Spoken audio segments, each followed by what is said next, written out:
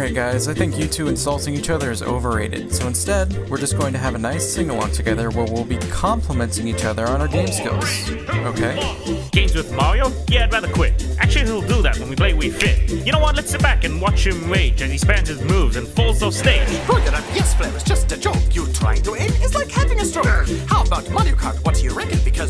Because when you play me, you won't survive a second. Okay, this really isn't working, it seems. Discuss co op games, work together as a team. If that's gonna happen, I don't want to be alive. I alive. brought poison for two. Woohoo! Ha-ha. You know, I'm happy that games keep you home, or else you might give someone your third chromosome. Why, it's good that you play games with lots of dating, because if you try the real thing, you never see it coming.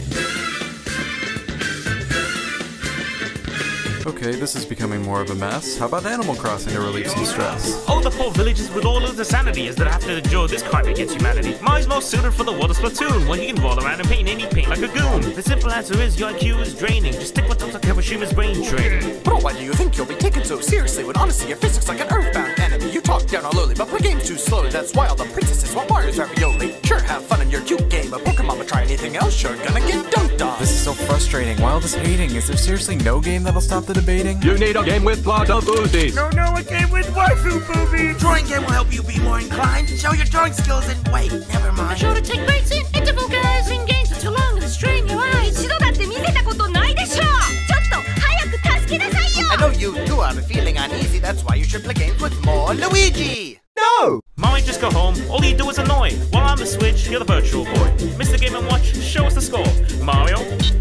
SMG4. I'm sorry, bro. I know you want more, but don't be salty about your beaten high score. Stop being a child. Go put on your big trousers. Mario's gonna win. So long, Game Bowser. You guys got 10 seconds to compliment each other, or I'm gonna be making you scream for your mother. Hey man, what's with all this sass? Yeah, dude. What got up your ass? Activating instant kill. Oh god, I'm Mario. I'm sorry for talking smack. You too. Uh, I think